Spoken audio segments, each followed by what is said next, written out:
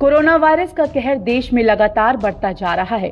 आज महाराष्ट्र में सैंतालीस उत्तर प्रदेश की आगरा में 25, राजस्थान में 19, गुजरात में 10, मध्य प्रदेश में 6 और गोवा में एक नया मामला सामने आया है। वहीं राजस्थान गुजरात और तमिलनाडु में एक एक और मध्य प्रदेश में तीन मौत हो गई है। Ministry of health and family welfare के मुताबिक देश भर में कोरोना वायरस के पॉजिटिव मामलों की कुल संख्या बढ़कर उनतीस हो गई है। वहीं एक सौ चौरासी लोग ठीक हो चुके हैं या फिर उन्हें हॉस्पिटल से छुट्टी दे दी गई है और अड़सठ लोगों की मौत हो चुकी है। तो आइए जानिए आपके राज्यों में क्या है कोरोना वायरस के आंकड़े।